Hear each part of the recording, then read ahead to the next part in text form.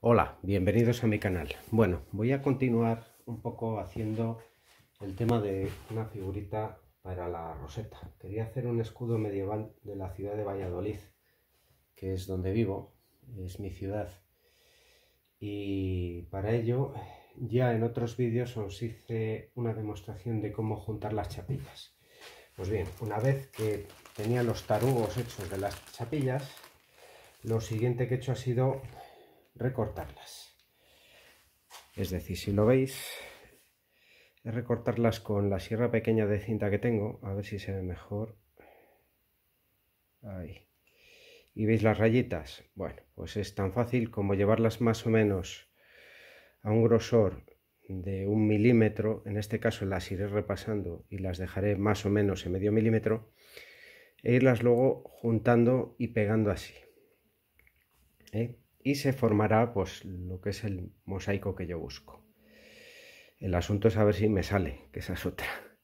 Tendría que dejarlas más o menos a mano, a, medio milímetro, un poco más de medio. Pues habrá que hacerlo con bastante paciencia y una lijita, y eh, un taco de lija, pues, pues finito, pues a lo mejor de, de 240 o así y luego ya pues irlas pegando. Las iré pegando de dos en dos. ¿Para qué? Para que una vez que tire un poquito la cola, ir pegando pues más piezas. ¿eh? Aquí tengo clasificadas absolutamente todas las piezas que voy a usar. Y he marcado en las bolsas ¿eh? de qué parte del mosaico son. A ver si tengo por aquí el mosaico y os lo enseño. Ya lo he encontrado.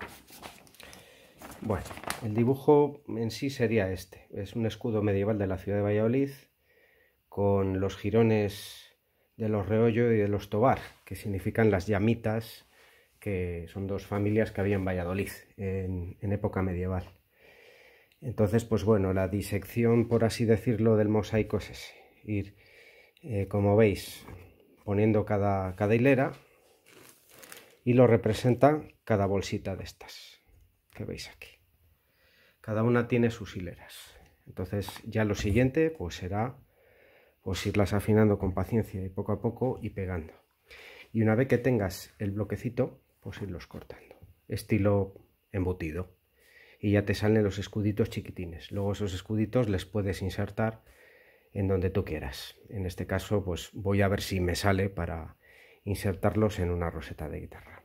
¿Vale? Bueno, ya lo iréis viendo. Venga, un abrazo a todos.